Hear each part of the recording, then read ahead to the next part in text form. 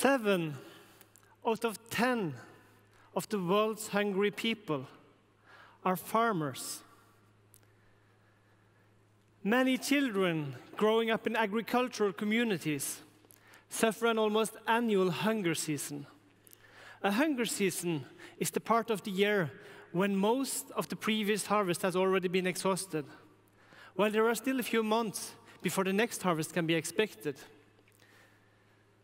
Families survive on a dwindling supply.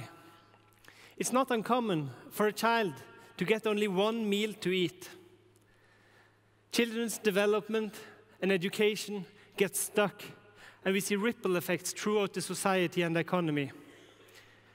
Yet, smallholder farmers are among those that work the hardest.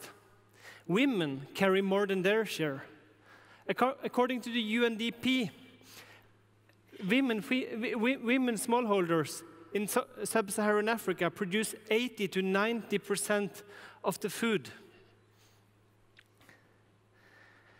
As the world's population continues to grow, the African agricultural potential will become increasingly critical for both global and regional food security.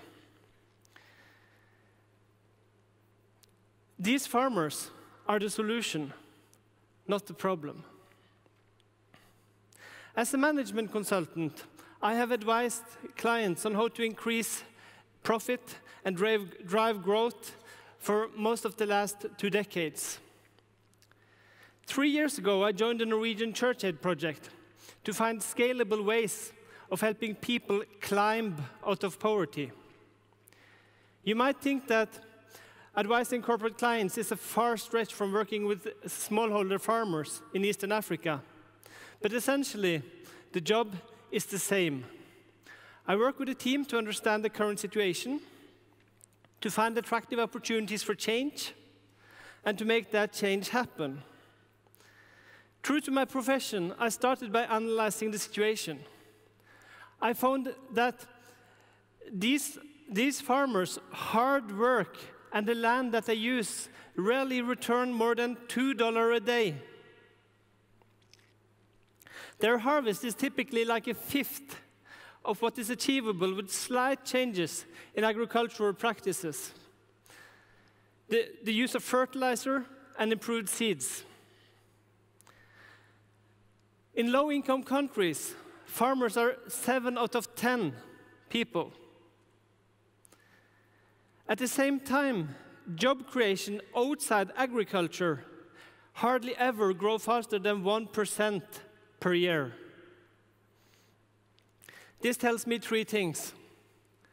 Firstly, job creation outside agriculture cannot be the solution. It takes way too long. Secondly, a manifold increase in agricultural produce is a major must. And thirdly, these farmers must be at the core of any strategy to end hunger.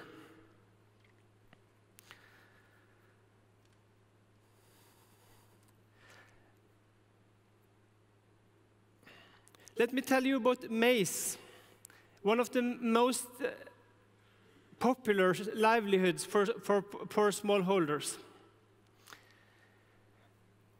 If you prefer the American term, it's corn. Um, a $100 investment in improved seeds and, and, fertilizer typically returns a, a five-fold improvement in your harvest. But if you're living on $2 a day, a $100 investment is not affordable. Even if you do have $100 available for investment, Putting all your eggs in one basket seems risky. For the few who do invest and actually do get the fivefold or even more uh, return uh, on their harvest, their daily average income still only increase with 50 to 75 cent, hardly lifting them out of poverty. And if you want to scale that income, you need a lot of land. So the main problem is not financing the investment. If financing the investment was the main problem, then microfinance would be the solution. The main issue is the abysmal low return on hard work and land. Their business model must change so that there can be cash on the table after the children have been fed and their school fees have been paid. I think we have found such an attractive alternative model.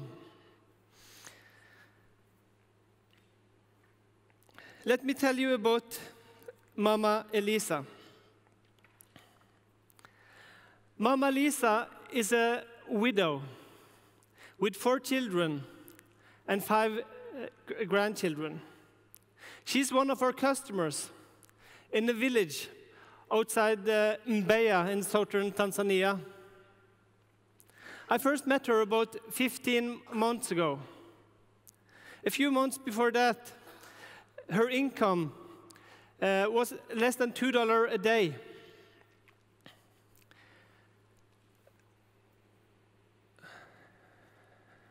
Let each of the silhouettes behind me represent one billion people.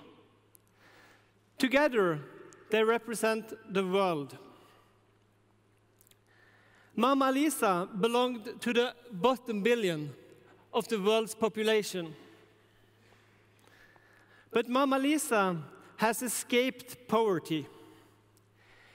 In six months, Mama Lisa grew her own income from less than $2 a day towards $12 a day. Before we go into details about how she achieved that, let's take a moment to reflect on the significance of her journey. By passing the $10 a day level, Mama Lisa's income journeyed from the bottom billion towards that of the upper half of the world's population. Imagine if she's just a front runner. I believe that she and many of our other customers are front runners with millions of potential followers. Let me explain why. This is all based on assets that she already uh, ha had most of it. She had access to some land, a few hundred square meters in her case. She had access to some water, and uh, there was an abundance of sunshine. Add to this her own hard work, which is significant. To make the leap out of poverty, she also needed improved seeds, fertilizer, and uh, probably some irrigation. But all of this had to be affordable. And it had to present her with an attractive profit at a minimal risk. Affordable to her meant investments in less than $10 increments. An attractive profit at a an attractive profit at a minimal risk meant a proven business model that could provide a steady cash flow throughout the year rather than an annual harvest that hit the market as it reached its annual low. The first concept we came up with that met these criteria was the veggie bed. I brought a small sample of the equipment that we're using, just to showcase its simplicity.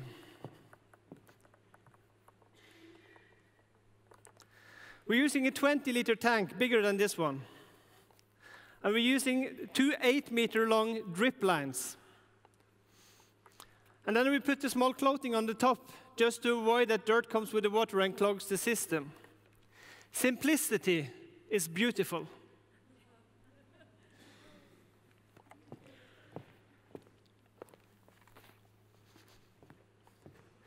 She also needed to have some fertilizer. Fertilizer comes in 50 kilo bags, while all she needs for the first three seasons is 1.5 kilo. She need, uh, as a drip line, comes in big rolls. So what we did was that we uh, made a kit, just what she needed to make an 8 square meter or about 90 square feet uh, veggie bed. This made it affordable for Mama Lisa. And Mama Lisa responded by uh, investing in four veggie beds. She paid the $28 herself from her savings, what she had for a rainy day.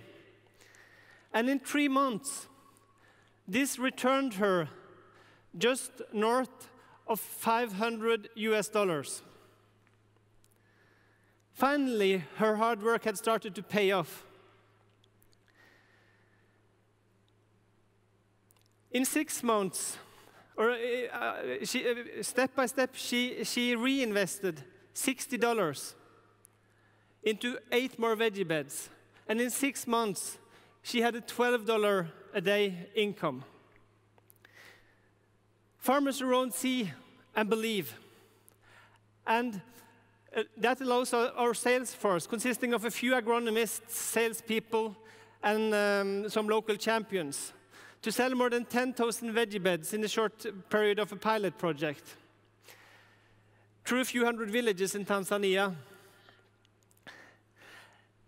Let me add a short side note. The positive climate effect of ju using just a tiny fraction of the land compared to staple crops like maize, yet having a bigger profit, could deserve a separate talk. Some of you have probably started thinking about what about markets?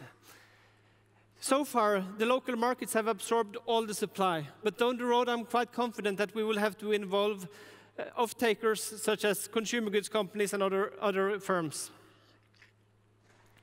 There will be many obstacles working with Uh, uh, engaging smallholder farmers as micro-investors.